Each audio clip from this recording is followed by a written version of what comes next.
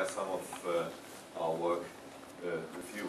So it is about non-additivity of molecular surface van der Waals potentials from force measurements and also the reconstruction of the complete uh, surface holding potential. Um, van der Waals direction, of course, are known for a long time. I mean, between atoms, uh, formula has been uh, written down in 1930 by London, and for macroscopic bodies uh, by Lifshitz in 1956. Uh, the intermediate range, where actually the uh, microscopic structure of matter is important, as well as these correlation forces. Uh, the description is particularly challenging for theory, and so we need experiments here. For example, uh, regarding the interaction of a single molecule with a metallic surface, because this is, for example, important also for adsorption phenomena. Now, in order to measure this, of course, we cannot do with this force apparatus from 1978, but I want to show you what our approach is to measure this. Our approach is essentially this one. We take the tip of a scanning probe microscope, contact the molecule which is sitting on the surface, we go into contact and then retract the tip, pull the molecule off the surface, and while we do this, we can actually measure the force. Now, we are actually not from this community here, so we are not uh, usually working on van der Waals forces. Um, so our field is more like uh, trying to get uh, control over molecular manipulation because we have the vision that at some point maybe we can turn our instruments into uh, molecular uh, fabrication robots. So it looks as if this is actually a very different background. However, if you want to do something like this, of course, you also need to understand very well the interactions between the molecules and the surface, and therefore actually it's quite close also. Um, so to give you sort of a summary at the beginning, you will show, I hope that I can show you, uh, uh, that um, in this type of experiment we can do a fully quantitative measurement uh, of van der Waals attraction between a single molecule and the surface, and by fully quantitative I mean we can actually determine the power law, the validity range of the asymptotic power law, we can uh, track the position of the dynamic image plane, C3 coefficients and also actually find that the van der Waals interaction is not additive. So, there are a couple of prerequisites for, for, these types of experiments. And the first one is, of course, we need a microscope which is in the first place able to show us individual molecules. So I show you here uh, this molecule uh, on the surface uh, uh recorded with a scanning tunneling microscope at 5 Kelvin. This is an island of many molecules. It's a separate one. Second uh, prerequisite is that we need to be able to make contact to our molecule. So the molecule actually needs a handle, and for this PTCDA molecule, which we often use, uh, we have these oxygen atoms here in the corner, which are quite reactive and which can actually be used to block the tip to them. Okay, and then there's actually a whole series of molecules uh, which all look similar and all have these handles here, starting from the small one, NTCDA, up to Now, of course, if you have such an image, the question is where is now this oxygen atom in this image? And uh, in order to find out this, there are two different ways. First of all, you can go very close with your tip and scan across. And then you see each time the tip comes to an oxygen atom, this oxygen atom flips into contact and you see some funny uh, things appearing in the image. So that's possibility number one. There's also a more direct way, actually, of using single molecule force sensors in your STM, and then you actually get a full picture of the structure of the molecule, and then, of course, it's obvious uh, if you compare here this formula, the image where these oxygen atoms must be, and then you go there, approach the tip, and can make the contact. The third thing which we need, of course, is force sensing, because as we lift the molecule from the surface, we have to be able to measure the force. And here we actually use not a normal cantilever S, uh, AFM, but we actually use uh, a tuning fork AFM, so a dynamic uh, AFM. So this is actually the tuning fork. You can see here the bar with the tip.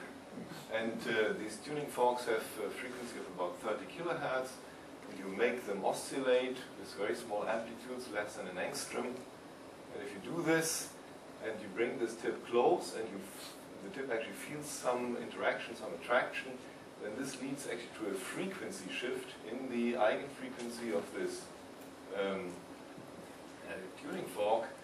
And And so this is the general formula, but if the uh, amplitude is very small, then it actually turns out that this frequency shift, which you can measure, is directly proportional to the gradient in z direction of the force. So this is actually the stiffness of the junction not the force which is measured, but of course you can calculate back from the stiffness to the force. Okay, so this is actually what the individual curves look like if you sort of come, make contact, remove the molecule, put it back, remove it again, do this about 40 times. Then each time we measure such a curve here, so, and the first thing you realize, of course, is that if you look at the lowering curve, just put it down here, and the lifting curve, they are the same. Basically, the experiment is both reproducible and also reversible. Reproducible in the sense that you see very nice agreement. Uh, there's a little bit of statistical noise here in this area, which we understand also why it is there. But overall, it's a very reproducible and reversible experiment. This can also be seen look at the histogram, so now all the data points are plotted actually in one diagram here as a histogram, you see very well-defined actually behavior. Now the question is, what does this tell you? Remember, this is a frequency a function of tip uh, position here. We are close to the surface here, we are far away from the surface. So we move out and go through this frequency shift curve. So in order to understand, so this is basically just uh, the average in order to understand what uh, this curve tells us, we now basically integrate it once. So this gives us the force. And um, uh, then we get actually get this curve. And now we can actually compare this black curve, which is sort of the experimental result, with two limiting cases. They are plotted here as dotted and dashed curves. First of all, if we have a stiff rod, then we get actually two uh, maxima and the attractive force. And this happens when you first actually try to remove the molecule from the surface like this. You go through the first maximum and then force becomes small. And then if, you, if the molecule is upright and you try to remove it uh, completely, in vertical position, you go through the uh, second maximum. On the other hand, if the molecule was uh, sort of very floppy, and basically like a scotch tape, then you would observe here a very flat uh, feature in the force until the molecule is completely removed. You see that the experimental curve actually lies between these two limits. Basically, this tells you the molecule has some flexibility, uh, so it's somewhere between the stiff rod and the scotch tape. And then actually, by doing this analysis, you can um, assign individual stages of the experiment to this curve. And finally, of course, we can uh, integrate a second time and get actually potential.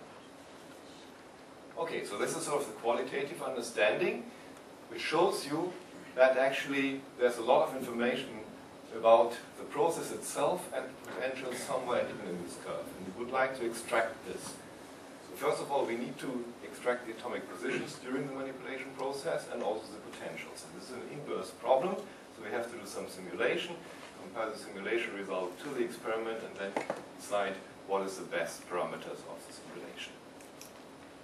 And of course, uh, for this we need sort of a potential um, which has uh, variables, which are the positions of the atoms in the molecule, but also some constraints, for example, to coordinate. And then we have to basically find uh, uh those coordinates which actually minimizes potential for a given set of constraints The fitting strategy would be that for each potential you determine the positions throughout the complete manipulation process, and then you vary the potential until agreement between experiment and theory is.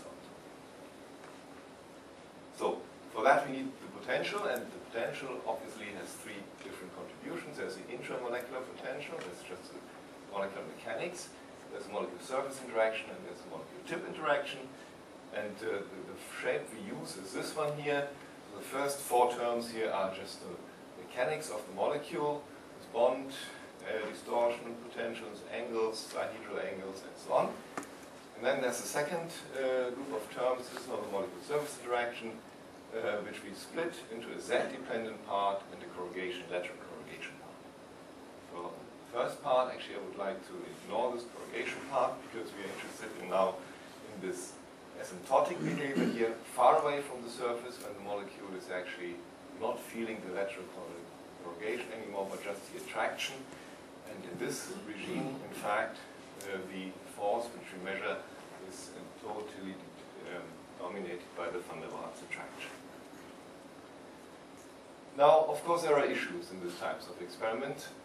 The first question is how do we actually know that the molecule is vertical in the junction when we have actually uh, broken the contact? I mean, certainly there is the attraction from the surface, which tries to uh, minimize the overall distance, so it tries to actually molecule in the vertical. However, there's also attraction from the tip, obviously, and if the tip is asymmetric, then there could be a torque to one side. However, uh, thinking about this a little bit, you realize immediately uh, that the equilibrium, if there's an asymmetric tip, will be an unstable one, unlike this, uh, which is a stable equilibrium. So if this was dominating here, then we would in fact, as we go away from the surface, at some point find that the molecule just flips up to the tip, and then we come back and actually don't see the molecule in the junction anymore. This sometimes does happen, uh, but in most cases it does not happen, as I've shown you. As I've shown you, in most cases the experiment is uh, reversible. This tells us that we must be very close to this uh, vertical geometry, and so our assumption actually works, and we can uh, fit our data using this assumption. Second question is, can we exclude electrostatic forces, of course, which will also be uh, present in principle. And there we know that actually this molecule, if you put it to gold, there's no charge transfer, there's no charging of the molecule, and uh, the assumption that there is only van der Waals is quite safe, and in fact it's borne out by the results in the end. Okay, so then um, we have to basically come up with some functional form of this van der Waals interaction. There we use uh, the Lifshitz Zaremba-Kohn result, where we basically have individual atoms, and we sum over the atoms, and then there are these three coefficients, and there's a z minus z0 over uh, to the power 3 um, dependence. And then z0 is in fact this dynamic image plane, the three are the coefficients, and these are the positions of the individual atoms here in your. Okay, so the experiment again, you just go up and down many times, you do it for three different molecules, and then we get these curves here. Uh, so red now for the longest molecule, black for the shortest molecule. Of course, they are displaced on the axis because they have length. And uh, now we actually want to basically fit this part here, which is uh, highlighted in gray because it's the asymptotic behavior. And uh, so we plot the data uh, on this funny scale, uh, delta f frequency shift proportional to z to the minus 5 and get more or less a straight line. So this tells us, okay, this is not too bad because uh, remember this is the force gradient, so this should be z to minus 5 uh, if the van der Waals force is z to minus 3. And uh, so this is now the fitting strategy. Um, we fit all the three curves, NTCD, PTCD, TTCD at the same time using fit parameters, alpha, the different uh, uh, these three coefficients for the different molecules and Z0. Uh, and by actually having individual coefficients for the different molecules, we actually go beyond uh, the additivity because we allow the carbon atoms in the different molecules to actually use atomic weighting factors here because we have carbon atoms, hydrogen atoms, and uh, oxygen atoms from theory. Because in the end, we want to compare to this theory, so it makes sense to use the same weighting uh, logic system. Okay, so in the first step, we actually leave open the power and just look uh, which power gives us the best agreement with this theory. So this is actually quality of the fit as a function of the uh, exponent. You see uh, the minimum uh, in this uh, curve is close to alpha equals 3, which is of course what is expected if this is And we also see that for these alphas, actually, the Z0 value is close to what one expects from theory. So this shows us uh, that this is consistent and we probably have correct distance calibration as well. So then the second step, we actually fix alpha to 3. Then we uh, fit these, uh, these three coefficients and the result of the fit is actually shown here. And this yellow bar really uh, determines, I mean, uh, highlights where we actually start the fit. In this particular case, we started here. If you go a bit closer, then you see that the quality gets uh, uh, uh, substantially worse. So we have to go, let's say, to about uh, 5 uh, angstrom smallest distance between the lower end of the molecule and the surface in order to get a, a stable fit here. And this shows us that this asymptotic behavior is actually valid only for values larger than 5 angstrom. But then it actually reaches a plateau. And uh, the plateau it reaches actually uh, has the following property, that you get different C3 coefficients for different molecules. And um, this basically can be plotted like here, so you have uh, the number of effective, uh, the effective number of carbon atoms in the molecule, and here you have the uh, atomic C3 coefficient, and you see as molecule gets longer, actually this Ricochet coefficient gets also larger. And uh, you can look at the residual of the fit, which I just showed you. These are the uh, dark curves.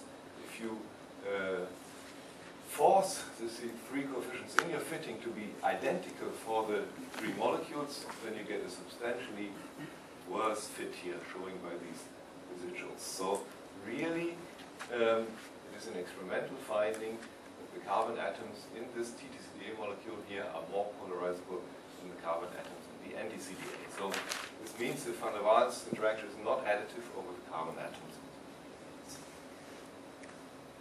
Now we can compare this result to uh, theory.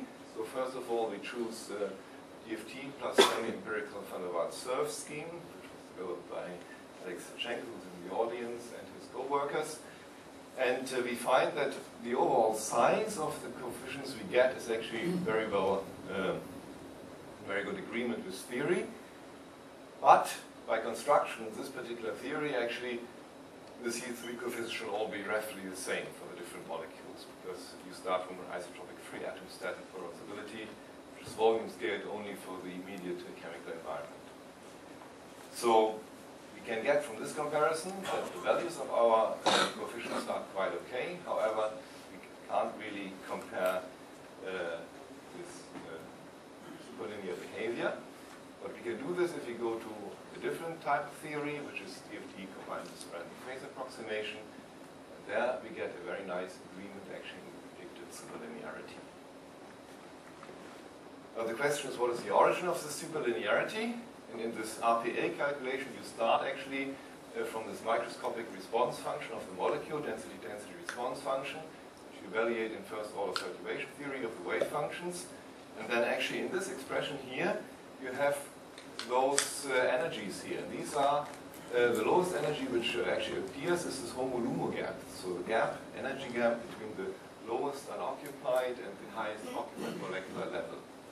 As a molecule gets longer, this gap actually gets smaller. For an infinitely long molecule, this would be metallic. There would be no gap left anymore. Which means that actually for the longer molecule, this density-density response function is actually getting larger. This is in fact then the uh, origin of the superlinear rise, which is shown really nicely by this plot, because if you exclude this energy difference, the HOMO-LUMO gap, from your calculation, then instead of the red, uh, red dots, you get these gray dots.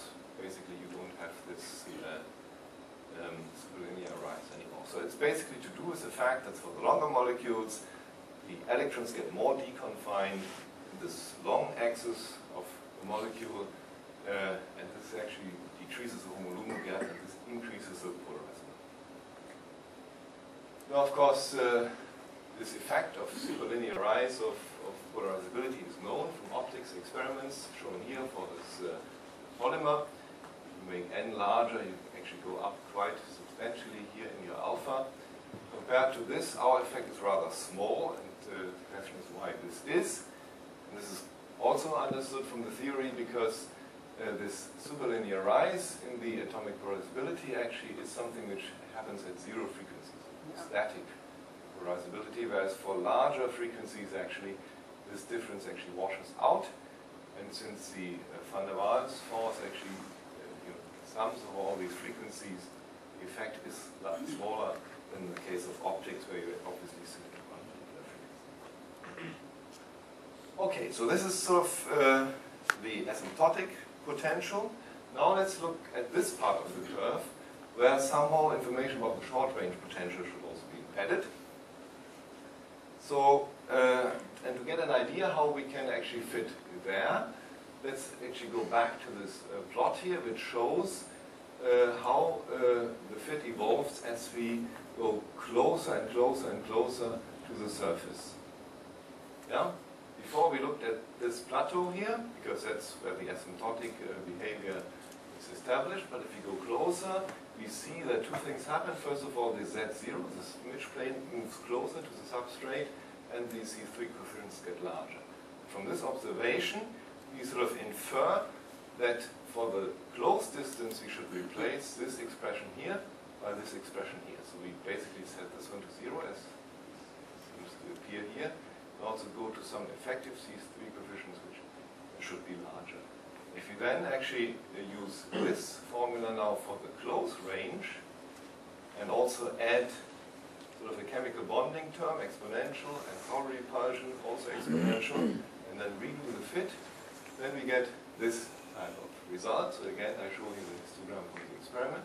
This is now simulations of the experiment with uh, potentials from the previous foo graph with 40, uh, 4,000 different uh, parameters. And you see that overall the agreement is very nice.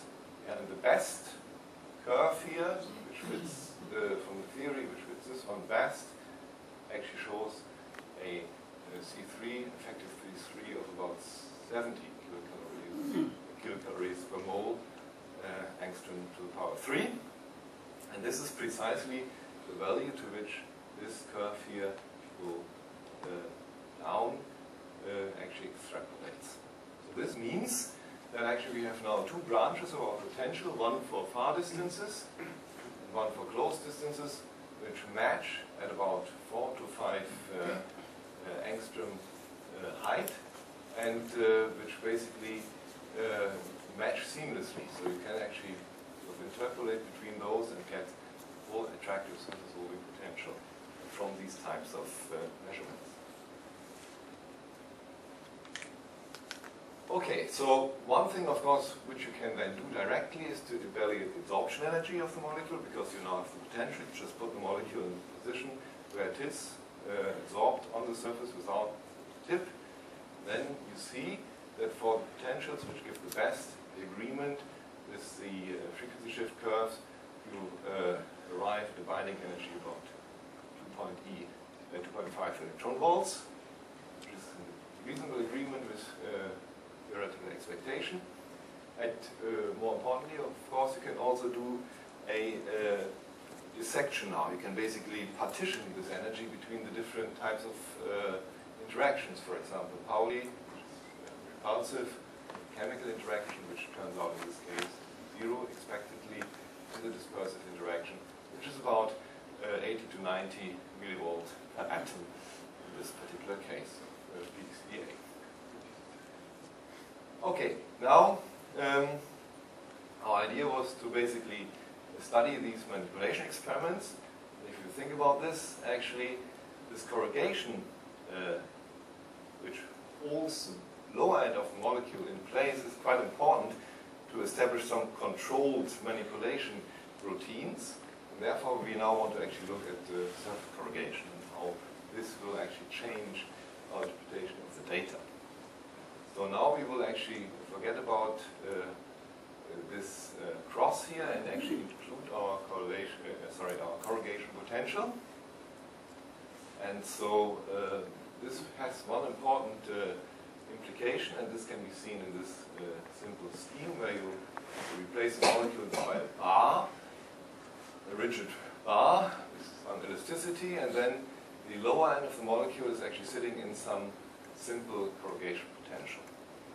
And uh, since we measure the force gradient in that direction by going up and down, by basically vibrating this thing up and down, it's clear that especially in the more upright configurations, um, the existence of this uh, potential here in lateral dire direction will lead to some apparent repulsive force which we measure here in the vertical direction. This is in fact what we see if we integrate our curve. Because beforehand I showed you this curve And I said I integrated the curve and then I get this. This is what I showed you when we discussed the results qualitatively. However, at that stage I had already applied some propagation correction and if I take the data as measured, uh, the black curve here, I would in fact see here an apparent repulsive force. Which of course is unphysical. In the z direction, there is no repulsion in the z direction, but it comes uh, because we measure this uh, uh, force gradient in a particular way, which basically translates some of the lateral information on the potential into the vertical. This, by the way, is also the reason why it's not possible in order to get the absorption energy to just integrate this curve, because you always have this apparent repulsive force which uh, um, falsifies your result then. But of course, you can take this into account now once you have identified this problem and um, can calculate this correction. I don't want to go into details, but basically, we do this, we can come up with simulated curves which in all generic uh, properties fully reproduce what the experiment shows. So the experimental curve is the red one, just one particular curve for one particular experiment, and uh, the black curve is just one simulation, and you see uh, that the overall shape, including these uh, jerky events, and also the broadness of this peak here comes out very nicely. So what we can say is that we have actually a a valid description of the full manipulation process. Okay, this brings me to the end of my talk. I hope I've shown you that if you use these molecules with a handle and STM and AFM, you can do highly reproducible manipulation experiments which allow you to measure the van der Waals energy of a single molecule in a metal surface. And uh, if I say measure, I mean that we can actually determine the asymptotic exponent, we can determine the reference plane position, we can determine the validity range of this exponent, we can determine the absolute size of these coefficients, and also get out that there's about 10% of uh, superlinearity, respectively, non-additivity. If we actually change a little bit the equation, we can also go to this closed distance, and in this way, then by a combination of the two, reconstruct the full surface holding potential We can, for example, determine the absorption energy of an individual molecule removed from the surface, which is interesting because in surface science, uh, up to now, there has been no way to actually measure the absorption energy of a single molecule. You can do this by, uh, for an ensemble of molecules, of course, by thermal desorption. Um, but here we can actually look at a single molecule. We can the bonding energy, which is again something which uh, uh you cannot do if you work with uh, thermal desorption spectroscopy. And finally, uh, at the very end, I've shown you the lateral corrugation uses apparent repulsive force, jerky sliding, and um, finally also uh, force field simulations use describe the manipulation process completely if they are properly trained on data sets like this, if you determine the parameters correctly. Uh, and this means that now by the combination of these experiments which work very well with simulations which also work very well, new chances, uh, new opportunities actually appear. One of these opportunities is, for example, the following. So you can now use motion control uh, devices, basically, which, um, you know, these are cameras which uh, can basically track uh, the movement of your hand and uh, if you give this signal then to this tip, then you can actually take the molecule basically in your hand. So you move your hand, and actually the tip does the same and picks up the molecule uh, as you move it with your hand. And uh, since we have simulation, this can be combined then with some virtual reality because at the same time that the experiment runs, also simulation runs, the image of the simulation is actually projected into this uh, virtual reality goggle. And basically then you come to a situation where you can move the molecule and see what it does while you're moving it. This is of course vision, not quite there yet, uh, but at least this is something which we believe could be very helpful in uh, learning how to work in a very controllable and reproducible way with these types of molecules. You want to learn more about this, you can actually watch this movie here on Beilstein TV, Moving Molecules by Hand. Yeah, finally I would like to acknowledge, of course, my co-workers, Ruslan Temirov, Christian Wagner, Matthew Green, and Philip Hein, who've worked on the experiments. We've had some collaborations with the group in Münster and also with Alexander Tkatchenko. Uh, regarding those experiments, some of the molecules we produce are done by Klaus Müllen, the Max Planck Institute in Mainz. This I would like to thank you for your attention. In fact, this little movie here is a movie where basically we remove individual molecules from this carpet here by this hand control manipulation. Thank you very much.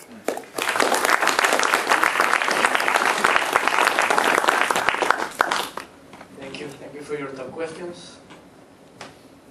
Francesca Borle.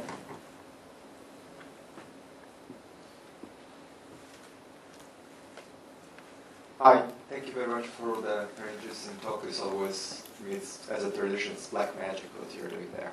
Um, I have two very quick questions. Uh, first, I would like to know how you measure the distance of the tip from the surface, which kind of accuracy you have there.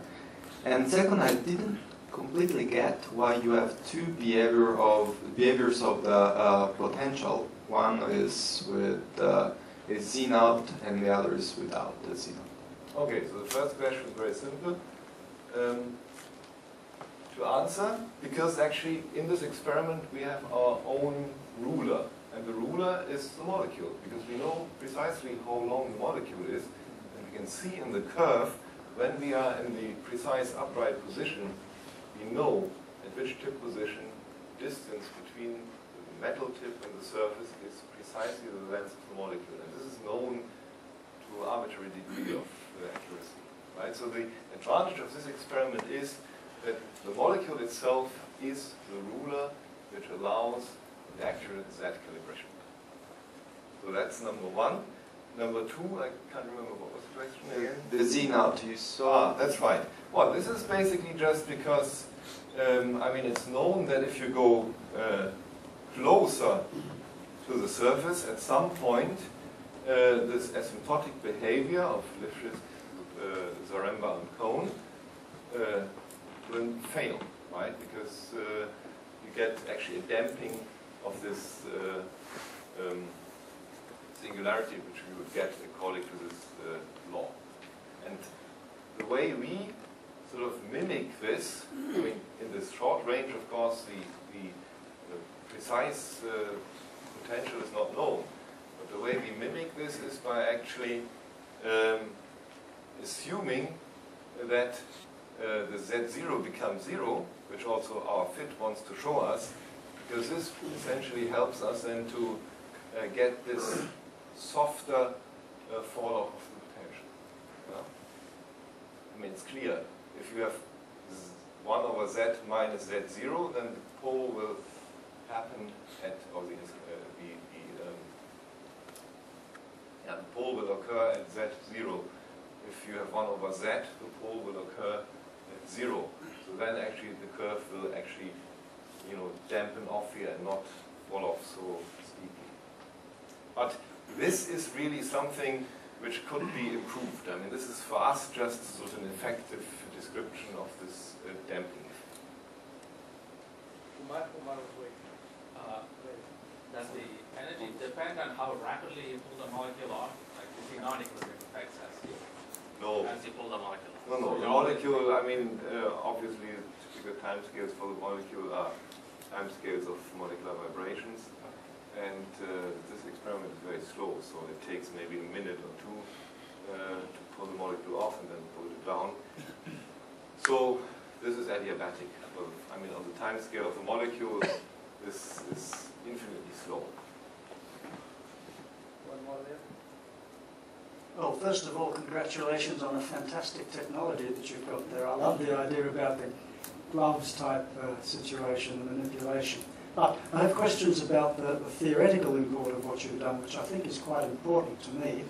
Um, I have to preface this a little bit, I'm sorry. Um, in, in 2014, I published a paper in International Journal of Quantum Chemistry where I tried to sort out the kinds of non-additivity that van der Waals forces exhibit.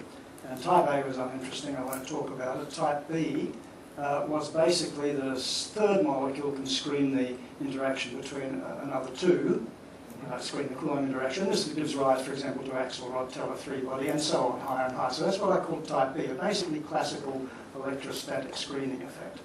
Type C non-additivity, whereby the total van der Waals is not the sum of pairs of atoms, was attributed in my paper to hopping of electrons between atomic centres.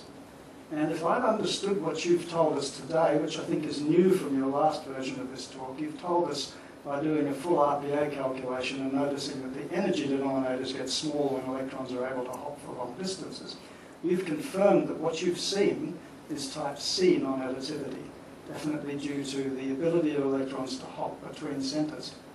And I think uh, from a theorist point of view, uh, this is an additional important thing top of all the, the important technological implications of what you've done. So I'm, I'm, I'm extremely, extremely happy with what, what you've found. Thank you. Yeah, thank you. I agree, actually. I think, uh, I mean, the molecule gets longer in one direction, which means that the electrons are getting deconfined in this direction, and this basically increases the polarizability in this direction. So, I mean, these molecules all have anisotropic polarizabilities, this superlinear rise, which we see in the C3 coefficients, is due to the increasing polarizability along the long axis of the molecule. Good. Uh, one more. Last one. Maybe a naive question. How do you make sure that the atoms of the tip, they don't contribute to the C3? Well, this is also relatively straightforward. I can show you.